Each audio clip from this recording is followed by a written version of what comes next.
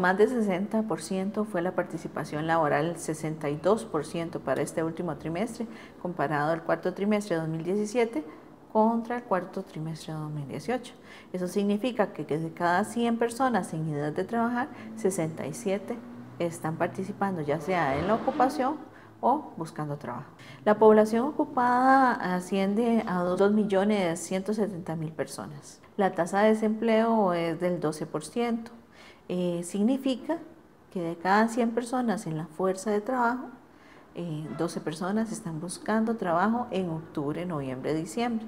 Y, de, y en, cuanto al hombre y la mujer, hay una diferencia.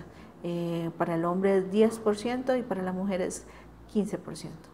Eh, es importante que, muchos de los jóvenes que están participando no tienen la secundaria completa. Entonces muchos eh, que han venido participando para este cuarto trimestre son jóvenes de 15 a 24 años y tienen secundaria incompleta. Más información, mejores decisiones país.